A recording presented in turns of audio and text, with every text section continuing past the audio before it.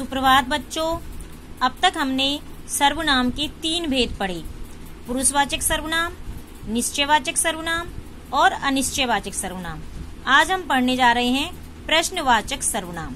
यानी जहाँ प्रश्न किया जाए, जैसे क्या, कहाँ, किधर, कौन। जिस सर्वनाम शब्द का प्रयोग प्रश्न पूछने के लिए किया जाता है, उसे प्रश्नवाचक सर्वनाम कहते हैं। पर ध्यान रखें कि हर प्रश्नवाचक शब्द सर्वनाम नहीं होता।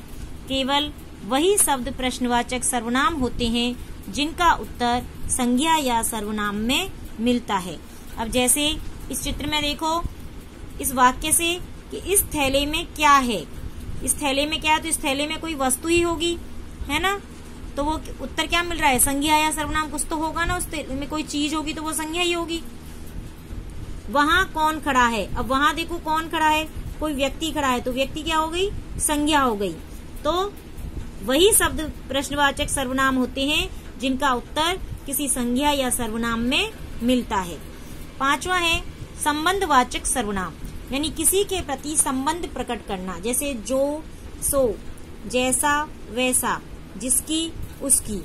यानी जिन सर्वनाम शब्दों का प्रयोग संबंध बताने के लिए किया जाता है उन्हें संबंधवाचक सर्वनाम कहते हैं। उदाहरण के लिए जैसा बोओगे वैसा, वैसा काटोगे। यानी यहाँ पर देखो ये बच्चा इतनी मेहनत कर रहा है और यहाँ पर ये कप जीत लिया है। है ना? भाई मेहनत का तो फल मिला ही ना। तो जैसा बोओगे वैसा काटोगे। यानी जैसी फ़सल बोओगे जैसे खेत में बीज डालोगे वैसी तुम्हारी फ़सल अच्छी होगी। तो जैसे उसने, जैसे तुम अच्छी मेहनत करोगे, उसका फल भी अच्छा होगा। तो जैसा बोओगे, वैसा काटोगे। एक दूसरे का संबंध बता रहा है। इसी तरह जो परिश्रम करेगा, सो सफल होगा। भाई, जो मेहनत करेगा तो उसको सफलता प्राप्त होगी।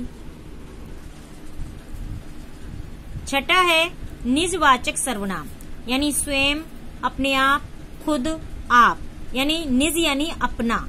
खुद के लिए जो कार्य हुआ, होता है। उसे कहते हैं निजवाचक सर्वनाम।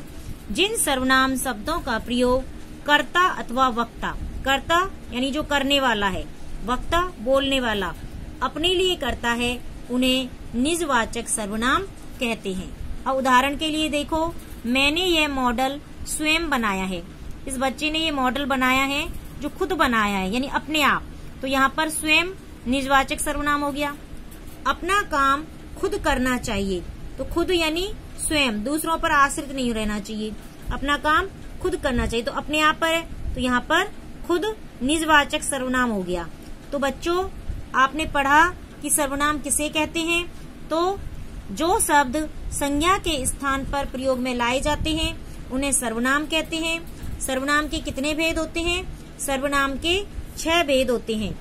पुरुषवाचक सर्वनाम, निश्चयवाचक सर्वनाम, अनिश्चयवाचक सर्वनाम, प्रश्नवाचक सर्वनाम संबंधवाचक सर्वनाम और निजवाचक सर्वनाम। सर्वनाम शब्द जो है, स्त्रीलिंग और पुल्लिंग दोनों में समान रहते हैं। सर्वनाम शब्दों के भी एक वचन और बहुवचन रूप होते हैं। धन्यवाद।